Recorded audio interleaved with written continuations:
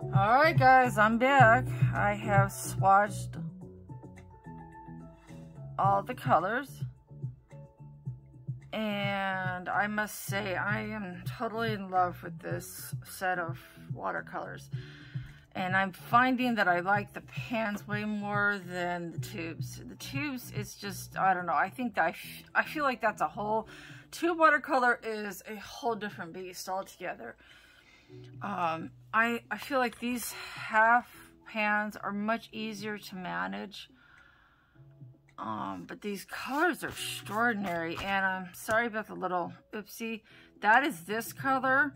Like I sort of stuck my hand in it and um, even my battery operated eraser did not get it up entirely. So that's just food for thought. If you get this set, that at least this particular color might not erase so easily if you make a mistake.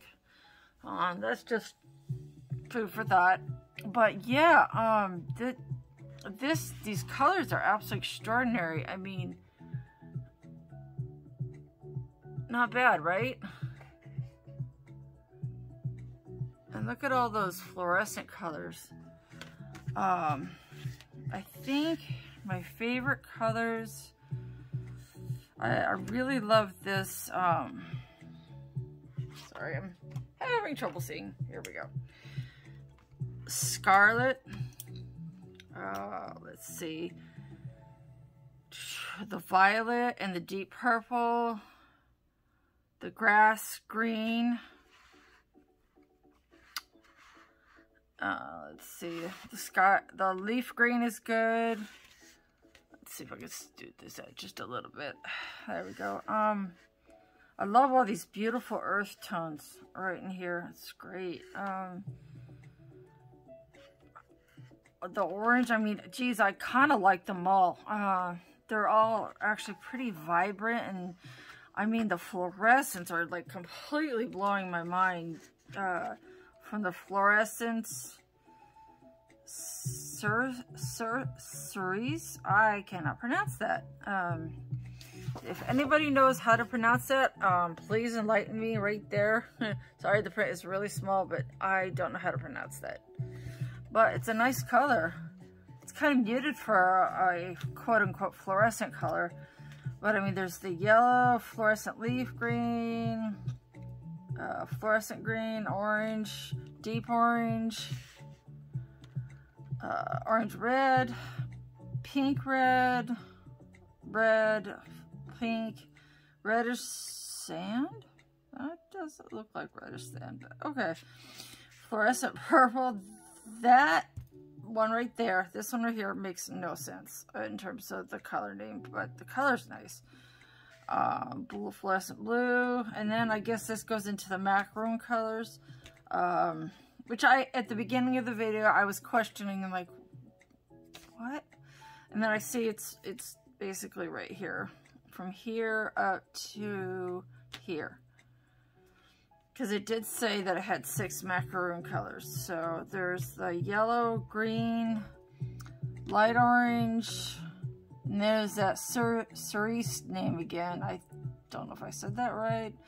Um, light ultramarine, blue, and that's it for that. Now, but oh my gosh, these fluorescents are absolutely amazing. I oh, love them. Now, the metallics are far more subdued than I would have thought.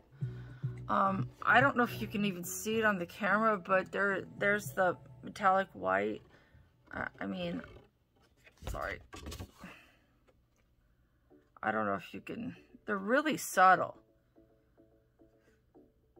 Um, the yellow, the gold especially is pretty subtle. Um, silver, and then multicolor gold. Oh, that's what this one is. Um, it's like a shimmery gold, I think. And then you got your metallic gold, uh, brilliant yellow, bronze, copper, light pink, orange red, heliotrope, red, and there's that cerise or cerise, I don't know, uh, pink, mauve, purple, yellow green, leaf green, verdant, uh, pale green, which looks more like a turquoise to me, but here's the turquoise. These two colors would go gorgeous together. Uh, and then light blue. Uh, deep blue, black. And honestly, you guys, this mauve is so subtle. I don't think the camera's going to pick it up. This multicolored mauve. It's almost like a, um, it reminds me of the, um, iridescent white that's in the uh, Faber-Castell gelatos. That's what this reminds me of, this multicolored mauve. It's that white with that, like a shimmer of pink. Uh, uh, that's exactly what that reminds me of. Uh, the multicolor purple, it's kind of the same thing. Oh, wow, there's a multicolored blue. Yeah, they're all super pale but pretty. Um, metallic blue, hooker's green, deep gold, muddy brown, rose yellow, light orange, deep purple, and red ochre. I mean, and the colors over here are white, lemon yellow, brilliant yellow, deep yellow, gam gamboge, gam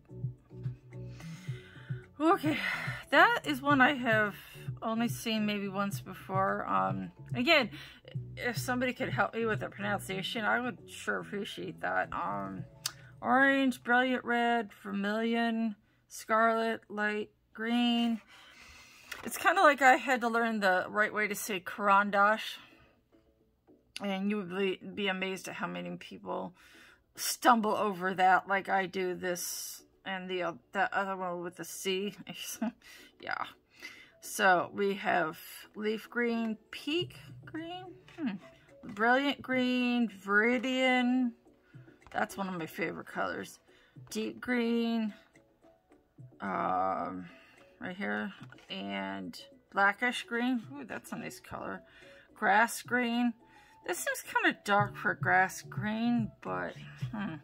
Olive brown, lake blue, cobalt blue, sky blue, turquoise, Prussian green, phthalo blue, and there's another one I had to learn how to say. When you, if you look at that right, sorry, dropped it. Um, here it is. Okay, the pH is pronounced like an F. It's Phthalo. Um, so yeah, there's some I figured out, and there's a couple, as you can tell, that I'm just still working on. it's okay. Um, blue, gray, deep blue, brilliant blue, ultramarine, mauve, purple. That's a very, almost a neonish kind of purple to me, but um, there's that name again. I don't know how to say it. I don't know how to say it. C-E-R-I-S-E. -E. Okay. Magenta, deep purple, violet, flesh. That's kind of orangey and dark for flesh. I mean, um, I don't really feel like that's a flesh. To me, a flesh would have uh, more of a peachy look to it. Uh, this is more of an, I would say that's more of a medium flesh, maybe. But at any rate, that's their version of it. Um, orange red, burnt sienna, sorry, burnt sienna, um, red ochre. Sorry, this is burnt sienna right here. I'm sorry. Uh, orange red, and then red ochre, carmine, permanent red, crimson, yellow ochre, deep yellow ochre, brown, brown ochre, burnt umber, one of my favorite, most versatile colors, burnt umber, raw umber, Van Dyke brown, gray, and this reminds me more of a French gray. If I was going to label this as, as a cold, warm, or French gray, I would say this definitely errs to the French gray side, but possibly warm gray. But I'm going to stick with French gray. Uh, Payne's gray, deep black. Eh, I would say it's deep black. It's more of an ivory black, but again, that's my opinion. Red ochre, um, sienna, brown ochre, uh, sorry, brown ochre, brown, how creative, uh, blue gray, deep purple. Hold up a second. There's two carmines. Hmm. That's weird. Like a carmine, I would probably pick this one right here. That one, I don't know, maybe a deep carmine. I think that's a, I think that's a mislabel. You know, looking at it, I would label this a deep carmine. Because here's the deep green and the grass green and the deep purple. I bet you this is a deep carmine. Because it, it resembles the carmine, but it's a little more um, vibrant, little deeper color. So I would hazard a guess that's a deep carmine. So yeah, and I've already gone over these. That's blue and light green and light olive green. Yeah, they they messed this one up too. It says O O L I E R. They left out the V. Okay, yeah. Some typos in the worded of them. So this that kind of thing is bound to happen. It's it's all well and good, but yeah very nice um, gift set all in all. I, I was actually pretty, for being, you know, Chinese and all.